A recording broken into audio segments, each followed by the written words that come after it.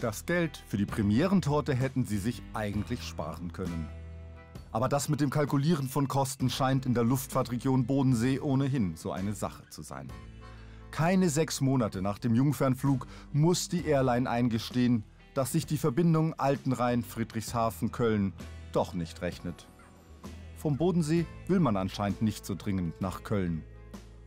Der kürzeste internationale Linienflug, also der von Altenrhein nach Friedrichshafen, ist damit schon wieder Geschichte. Der Rekord nur eine Fußnote für Bodensee-Historiker. Die Lindauer Ortsgruppe des Bund Naturschutzes war von Anfang an gegen die Ministrecke.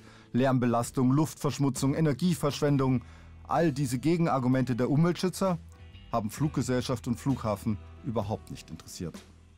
Nur die hohen Kosten und die niedrigen Einnahmen, die ließen sich nicht so einfach wegwischen. Diese Erfahrung haben allerdings schon andere Airlines zuvor gemacht. Am Bodensee gibt es wohl einfach nicht genug Fluggäste.